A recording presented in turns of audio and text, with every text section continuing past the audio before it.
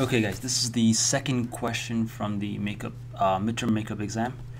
Uh, it's the multi-stage decision tree question that I unfortunately nobody solved correctly even though I actually gave you guys what the structure of the tree looks like. Alright, so this is kind of baffling that nobody could solve it in the exam. So yeah, so uh, do pay attention to this video because you will be getting a multi-stage decision tree problem in your finals. So um, it's not going to be exactly this but it's going to be it's you're going to have to use um, concepts that you know are quite similar. Okay so let me just read out the question.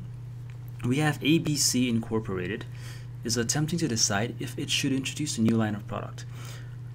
The company can test market the product in selected areas. Oh, got a subscription Okay, the company can test market the product in selected areas or bypass the test market and introduce the product nationally. The cost of the test marketing is 75,000.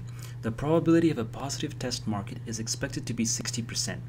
If the product is a success, the company will make a profit of $800,000, while if the product fails, it will make a loss of $350,000. Uh, the company believes that the probability of success for a product uh, is 50% if it's introduced without a test market. If the product, sorry, if the company does conduct a test market and is positive, so if the result is positive, the probability of success increases to 80%. Alternatively, if the test market, sorry, if the test fails, the probability of success drops to 30% and the company will have to decide whether or not to launch the product at all. Use a decision tree to analyze the best course of action for the company. Okay, so uh, let's start off with the initial choice we have. So right now we have two choices. Uh, initially, we need to decide whether or not to conduct the test market. All right, so that's the first choice we have. So our first, we're going to start off with a decision node, which is the square one at the beginning, and our two choices are either to conduct the test market or to continue without a test market. All right, so this is the first two choices. Now, if we conduct uh, if we launch the product without the test market, now as it's mentioned in the uh, red underlined part, uh, that the probability of success if the product is introduced without the test market is 50%, right? So that basically means that the probability of failure is 1 minus 0.5, which is also 50%. So it is equally likely to fail as it is to succeed. So if you launch the product Without, uh, without conducting the test market, the probability of success is 0.5 and the probability of failure is also 0.5.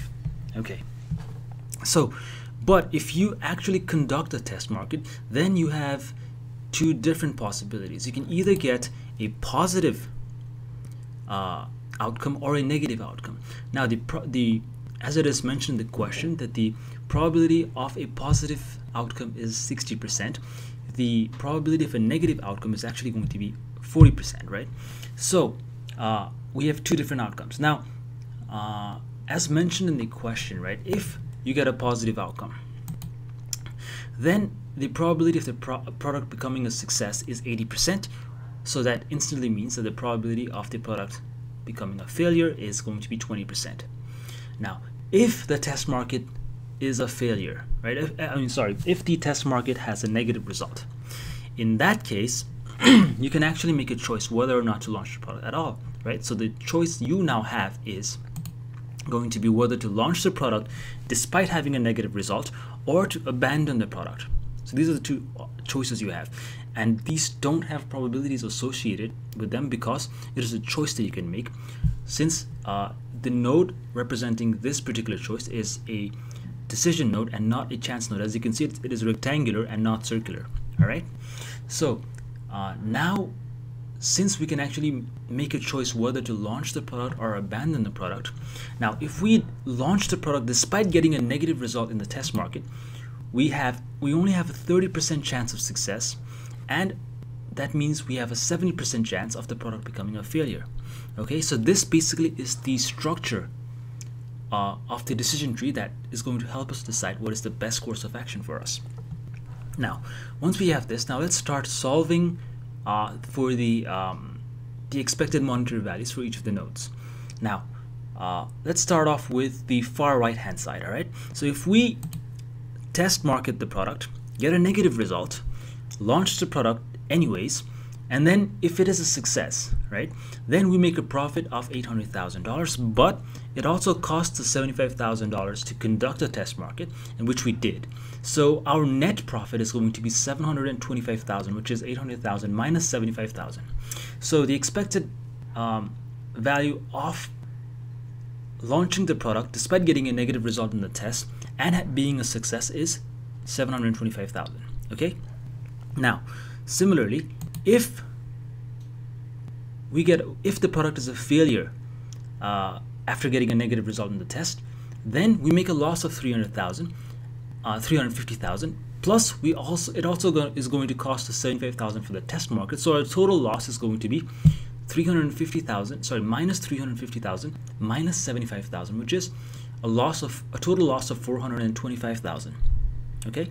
So now let's calculate the expected monetary value for that node right here so the expected monetary value of launching the product despite getting a negative result in the test is going to be given by uh, 725,000 times the probability of that happening which is 30% plus my negative 425,000 times the probability of that happening, which is 70%.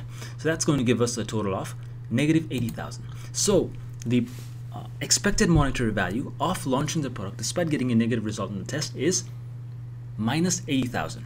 Okay, so now let's look at the uh, expected monetary value of abandoning if we get a negative result. That's simply 75,000, which is the cost of the test market, as mentioned in the question, uh, which is marked with, the red underline. Now let's look at the uh, choice here. So in this particular decision we basically have to make a choice of whether to make a loss, expected loss of 80,000 or expected loss of 75,000. Obviously, a lower loss is preferred, so we, we're going to pick abandon in this case. So if we get a negative result on the test, it is better for us to abandon. Okay, so that's one of the decisions that the tree has indicated. Next, let's look at this particular node. So if we launched, if we conduct a test market, get a positive result, and the product becomes a success, then we make a profit of 725,000 as, as before, right? Uh, similarly, if we launch the product, so if, if we conduct a test market, get a positive result, but despite getting a positive result, uh, the product fails, then we make a loss of 425,000. But in this particular case, since the probability of success is 80% and the failure is only 20%, the expected monetary value of this particular node is going to be uh, 725,000 times 0.8 minus 425,000 times 0.2, which is a positive $495,000. So this is the expected monetary value here. Now, let's calculate the expected monetary value of conducting the test market, which is going to be given by 495,000 times 60% minus 75,000 times 40%. So th these uh, percentages, these uh, expected monetary values are, are, taken from the corresponding nodes with the probabilities uh, given for the positive and the negative outcomes. So the expected monetary value of conducting the test market is now going to be 267,000. Now, let's look at the, the expected monetary values when we do not conduct the test market. So if we do not conduct the test market, the probability of success now is only 50%, right? So, uh, but since we did not conduct the test market, we do not have to spend the cost of the test marketing, which is 75,000. So we, if we make, if the product is a success, we make a net profit of 800,000. Similarly, if the product is a failure, we make a net loss of 350,000 and we do not have to incur additional loss of additional cost of 75,000 so it's just going to be 350,000 so the expected monetary value of launching the product without the test market is now going to be 225,000 which is going which is calculated by multiplying 800,000 by 0.5 minus 350,000 times 0.5 as well.